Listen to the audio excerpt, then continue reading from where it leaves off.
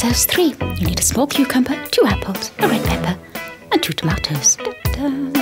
Wash the vegetables and the apples under a running tap. Dry them with a tea towel. Mm. Cut the cucumber lengthways into four. Remove the pips. And finally dice the cucumber. Peel the apples, cut them into quarters, and finally dice them. Slice the pepper and the tomatoes. Place all these ingredients into a bowl. Plop. Mm. Yum. To season, pour two dessert spoons of olive oil over the salad and add salt and pepper. Mm. Slice and squeeze the lemon and pour the lemon juice over the salad. Chop a shallot and some mint. Add them to the bowl. Mix. Now let's decorate our dish.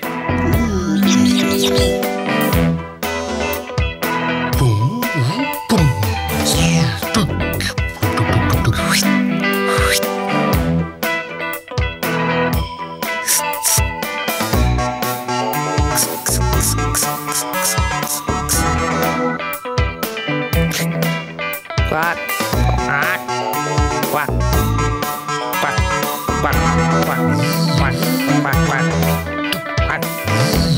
quack, quack, quack, quack, quack, quack, quack.